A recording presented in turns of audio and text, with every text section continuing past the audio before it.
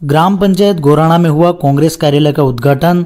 उदयपुर ज़िले के झाड़ोल उपखंड क्षेत्र की ग्राम पंचायत गोराणा में हुआ कांग्रेस कार्यालय का उद्घाटन। उप सरपंच सोहन तेली के नेतृत्व में कार्यकर्ताओं ने फूल माला डोल से किया स्वागत।